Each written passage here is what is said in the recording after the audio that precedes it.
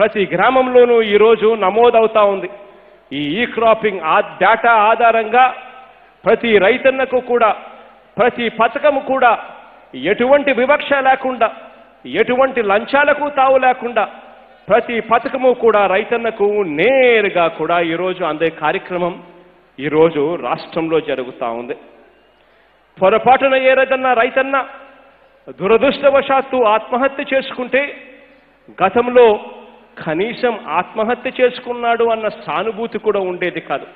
అసలు ఆ మనిషి రైతే కాదు అనే మాటలు వినిపించేటి కానీ ఈరోజు ఏ రైతైనా పట్టాదారు పాస్ పుస్తకం ఉండి ఏ రైతైనా కూడా ఆత్మహత్య చేసుకున్న పరిస్థితులే వస్తే వెంటనే ఆర్బీకే కేంద్రాలు స్పందిస్తూ ఉన్నాయి. వెంటనే రాష్ట్ర ప్రభుత్వం స్పందిస్తూ ఉంది. ఈరోజు గర్వంగా మీ బిడ్డ చెప్పగలుగుతున్నాడు. ఈరోజు రాష్ట్రంలో పట్టాదారు పాస్ పుస్తకం ఉండి పొరపాటున ఏ రైతైనా ఆత్మహత్యం చేసుకుంటే పరిహారం అందని రైతు ఒక్కడంటే ఒక్కడు కూడా లేడు అని చెప్పి కూడా సగర్వంగా తెలియజేస్తా ఉన్నాను. ఈరోజు మీ బిడ్డ ప్రభుత్వంలో ఒక్క రైతన్నలే కాదు సిసిఆర్సి కౌలు రైతు కార్డు ఉన్న ప్రతి రైతన్నకు కూడా ఇదే మాదిరిగానే ఏదైనా దురదృష్టవశాత్తు పొరపాటు ఏదైనా జరిగితే ఆ రైతు కుటుంబం తల్లడిల్లిపోకుండా ఆ రైతన్నకు తోడుగా ఉండే ఒక గొప్ప కార్యక్రమం ఈరోజు రాష్ట్రంలో జరుగుతూ ఉంది. ఆర్బీకేను ఒక యూనిట్గా తీసుకుని ఎక్కడ ఎవరు కూడా మిగిలిపోకుండా ఈరోజు మంచి జరుగుతూ ఉంది. పగటి పూటే తొమ్మిది గంటలు ఉచితంగా కరెంటు ఇవ్వడం కానీ కనీస మద్దతు ధర ఇచ్చి పంటలు కొనుగోలు చేయడం కానీ చివరికి ఆక్వా రైతులను సైతం ఆదుకోవడం కానీ రైతులను భాగస్వాములుగా చేస్తూ ఆర్బీకే స్థాయిలో సలహా మండళ్ళు ఏర్పాటు చేయడం కానీ ఆర్బీకే స్థాయిలోనే పనిముట్లన్నీ కూడా రైతులకు అందుబాటులో ఉండేట్టుగా కమ్యూనిటీ హైరింగ్ సెంటర్స్ ఇవ్వడం కానీ పాడి రైతులకు సైతం గిట్టుబాటు ధరలు వచ్చే విధంగా అమూల్ సంస్థను తేవడం కానీ ఈరోజు ఈ రాష్ట్రంలో ఈ మూడు సంవత్సరాల నాలుగు నెలల కాలంలో విప్లవాత్మిక మార్పులు ఈరోజు రాష్ట్రంలో గతంలో ఎప్పుడూ జరగని విధంగా ఈరోజు జరుగుతూ ఉన్నాయి.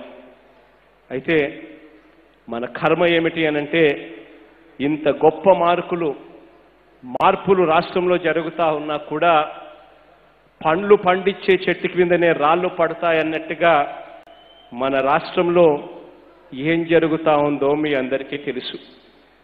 ఇటువంటి విషయాలన్నీ కూడా ఇంత మంచి జరుగుతూ ఉన్న విషయాలన్నిటికీ కూడా ఈరోజు ఎల్లో మీడియాలో రావు. ఈరోజు ఒక ఈనాడు ఒక ఆంధ్రజ్యోతి ఒక టీవీ ఫైవ్ ఒక చంద్రబాబు నాయుడు గారు వీరందరికీ తోడు ఒక దత్తపుత్రుడు. వీళ్ళందరూ కూడా ఈరోజు రాష్ట్రంలో ఏం చేస్తా ఉన్నారో కూడా మీ అందరికీ కూడా తెలిసిందే. వీళ్ళ చేతుల్లోనే మీడియా ఉంది.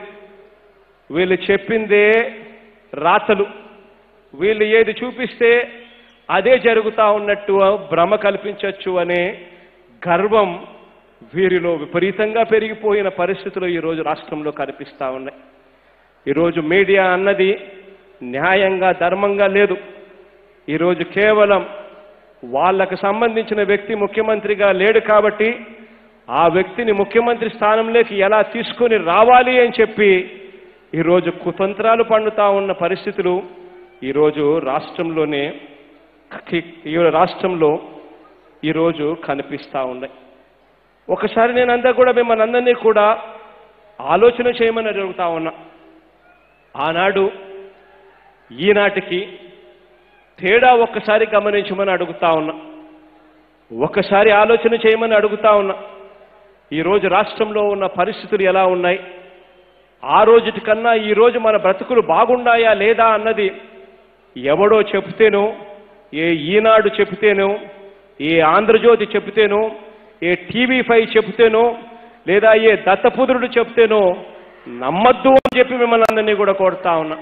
మీ జీవితాలు బాగున్నాయా లేదా? ఆ రోజుటికి ఈ రోజుటికి తేడా ఉందా లేదా అన్నది ఒక్కసారి మీ గుండెల మీద మీరు చేతులు వేసుకుని మీరే ఆలోచన చేసి మీరే నిర్ణయం తీసుకోండి అని చెప్పి కూడా ఈ సందర్భంగా సవినీయంగా కోరుకుంటా ఉన్నాను. ఈరోజు రాష్ట్రంలో పరిస్థితులు ఏమిటి? ఎలా ఉన్నాయి అన్న సంగతి మీ అందరికీ కూడా తెలిసిందే. గతంలో పరిపాలన ఎలా ఉంది అన్నది మీ అందరికీ కూడా చూసిన వాళ్ళే. మీ అందరితో కూడా నేను ఒకే ఒక చిన్న విషయం ఒక్కటి చెప్పి సెలవు తీసుకుంటా. మిమ్మల్ని అందరినీ ఆలోచన చేయమని చెప్పి ప్రేరేపిస్తా ఉన్నా. ఒక్కసారి ఆలోచన చేయమని కోరుతా ఉన్నా.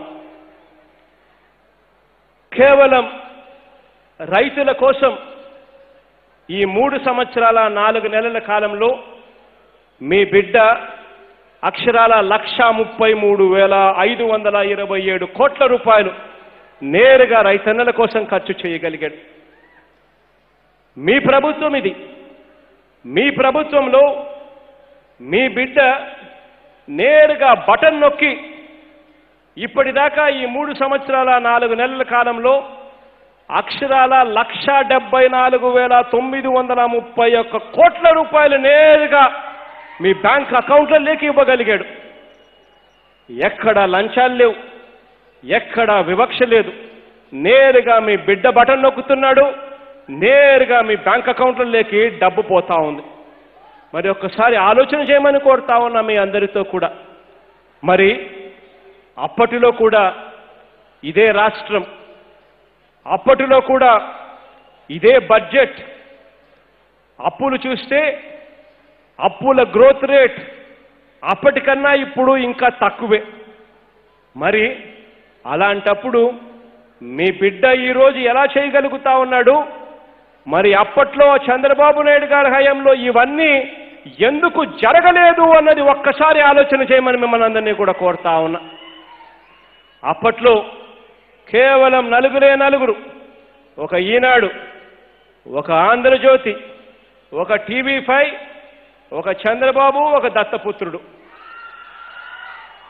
వీళ్ళు మాత్రమే దోచుకో పంచుకో తినుకో. డిపిటి అనే పథకం ఆ రోజు అమలు అయ్యేది ఈరోజు మీ బిడ్డ హయాంలో డిబిటి అంటే నేరుగా డైరెక్ట్ బెనిఫిట్ ట్రాన్స్ఫర్. అంటే నేరుగా మీ బిడ్డ బటన్ నొక్కుతున్నాడు నేరుగా మీ అకౌంట్లోకి డబ్బు వస్తూ ఉంది. తేడా గమనించమని అడుగుతా ఉన్నా. ఆ రోజుల్లో ఆ నలుగురు మాత్రమే దోచుకో పంచుకో తినుకో అన్న వ్యవస్థ నడిస్తే అప్పట్లో ఎవడు రాయడు. అప్పట్లో ఎవడు టీవీలలో చూపించరు. అప్పట్లో ఎవడు ప్రశ్నించడు. కారణం వీళ్ళంతరిది గజ దొంగల ముఠ కాబట్టి. ఈరోజు మీ బిడ్డ హయాంలో ఇక్కడ నేరుగా బటన్ నొక్కుతున్నాడు. నేరుగా మీ అకౌంట్లలోకి ఈరోజు డబ్బులు వస్తా ఉన్న మార్పును ఒక్కసారి గమనించమని చెప్పి మీ అందరితో కూడా కోరుకుంటూ దేవుడి దయతో మీ అందరికీ కూడా ఇంకా మంచి చేసే పరిస్థితులు రావాలని ఇలాంటి ప్రాంతాల మధ్య చిచ్చు పెట్టే పార్టీలు ప్రాంతాల మధ్య చిచ్చు పెట్టే మనస్తత్వం ఉన్న మీడియా సామ్రాజ్యాలు ఇవన్నీ కూడా కూలిపోవాలని దేవుడి దయతో మంచి నిలబడాలని ప్రజలందరికీ కూడా అన్ని ప్రాంతాలకు కూడా మంచి జరిగే పరిస్థితులు రోజులు ఇంకా రావాలి అని కూడా కోరుకుంటూ ఈరోజు ఈ కార్యక్రమానికి బటన్ నొక్కి ఇక్కడి నుంచి శ్రీకారం చుడతా ఉన్నాను.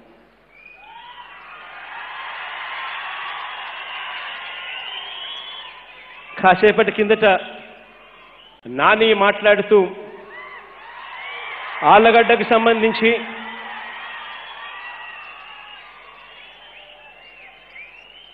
కొన్ని పనులకు సంబంధించిన అంశాలను లేవనెత్తాడు.